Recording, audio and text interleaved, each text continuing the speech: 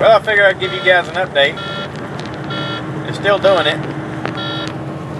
It's been several hours, and I'm almost back to the plant.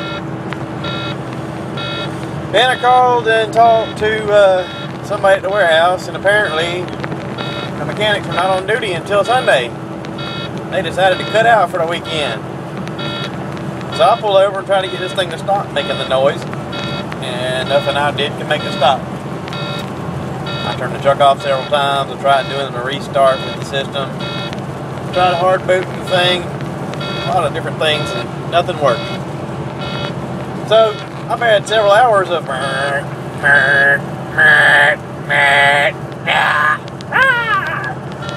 kind of after a while sounds like a pterodactyl in my head making its noise. If you can't tell, I'm kind of losing it.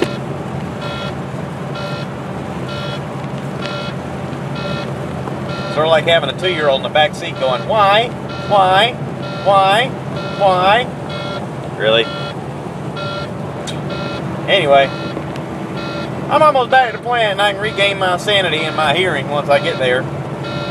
But I thought I'd just share with you that uh, the saga continues. And if y'all find out that I've lost my mind and I'm on the side of the road I'm taking a swing at a cop and they go, you see on the news one night and you go, hey, I know that feller. You don't know why I went crazy. One beep at a time. Beep, beep, beep, beep. Okay, bye now.